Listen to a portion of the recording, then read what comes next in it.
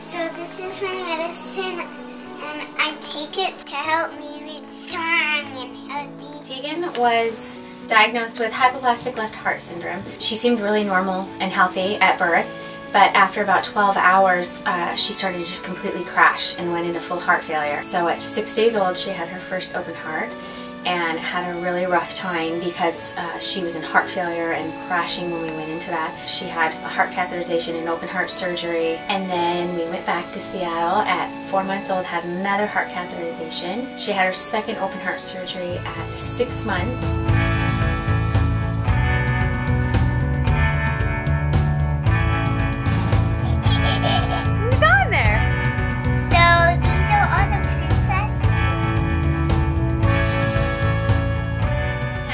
We were sort of in the front yard waiting, and around the corner comes a limousine with Tinkerbell on top. Tinkerbell gave Teagan a, a Tinkerbell doll and a clue, and the clue led us to the airport.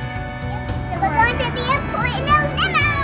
Tinkerbell had given her a fairy dust so Teagan could fly, and we got in the helicopter, did a wonderful flight over the whole Tri-Cities.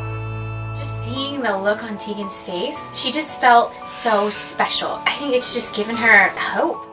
She just feels normal, even more empowered. Like at school, she can't do PE. She goes to PE, and if they're doing anything that involves running, she just sits.